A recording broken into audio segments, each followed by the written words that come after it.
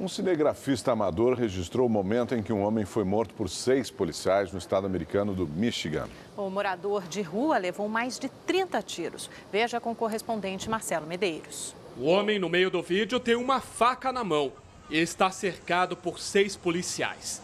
A gravação, divulgada pela rede americana CNN, capta o momento em que uma policial manda o homem colocar a arma no chão. Homem se identifica como Milton Hall e diz que foi ele mesmo quem chamou a polícia.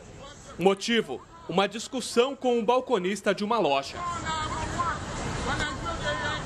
De repente, ele dá alguns passos para o lado e os policiais abrem fogo.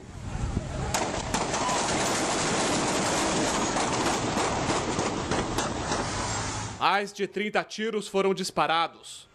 Milton tinha 49 anos e era morador de rua da cidade de Sednow, no estado de Michigan. A família afirma que o homem tinha problemas mentais e começou uma apuração própria do caso.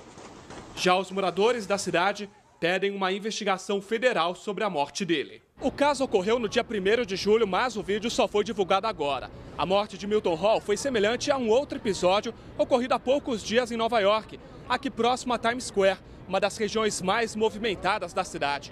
A polícia abordou um homem que fumava maconha na rua. Estava com uma faca. Ele se recusou a largar a arma.